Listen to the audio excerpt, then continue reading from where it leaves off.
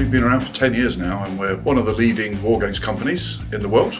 Warlord games are centred around fun. Fast and furious to play, easy to get into, accessible and, and affordable. We've got some great starter armies at great prices. Mass battle games are Hail Caesar, which is ancients uh, right the way through to medievals. Uh, we've got Pike and Shotte, so that covers um, the Renaissance effectively. Um, kind of bridges between Hail Caesar and then into Black Powder, which um, covers the horse and musket period 1700 to 1900. Bolt action, which does all that is World War II and a little more as well. Science fiction, we've got the amazing Doctor Who game because we've got the license for that.